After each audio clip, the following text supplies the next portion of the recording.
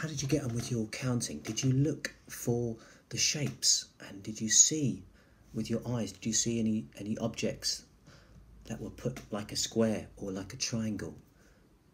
Did you, did you try and count them? Did you then have to check, put them in a line so you could check how many there were? Use your finger and use your counting tips. Well, today we're going to learn about something new called Numicon, and it's it's going to help us to count. And Numicon are sh are shapes, and they have holes in them to help you count, and they're different colours. And I'm going to show them to you. So I'm going to come off the camera and I'm going to show them to you now. Are you ready?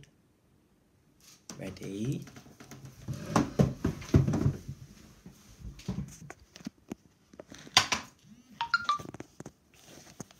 Here they are.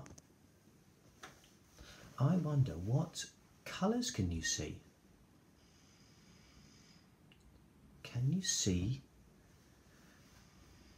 orange? Can you see red?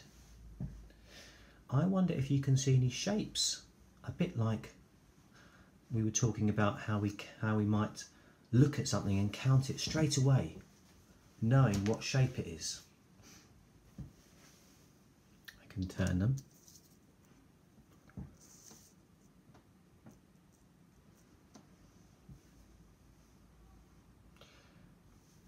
Now, you may already see,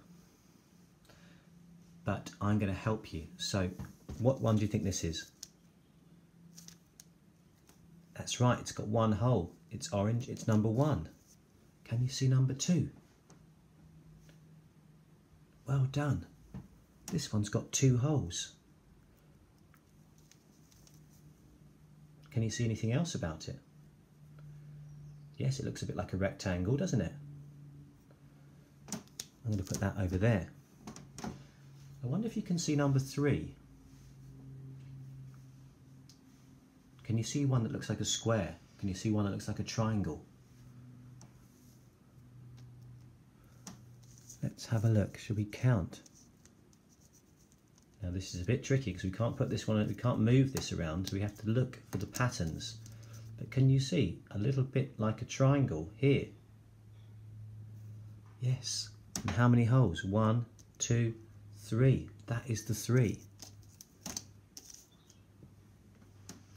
We've got two left.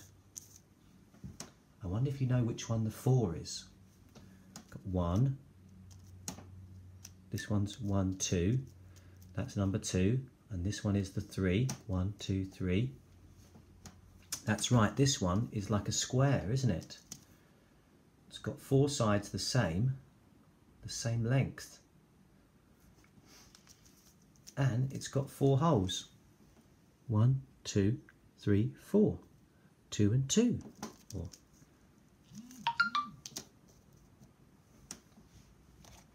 Now there's one left. I wonder if you know what number it is.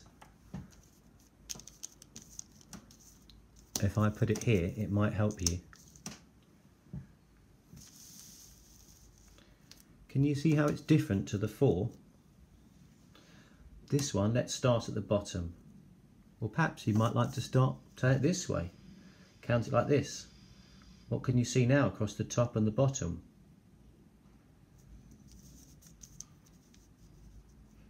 Can you see the square still? But what's the square got on top of it? That's right, it's got one on top. One, two. Oh, it's tricky to count this one. Let's start from the bottom and work up. One, two, three, four, five. That's a five.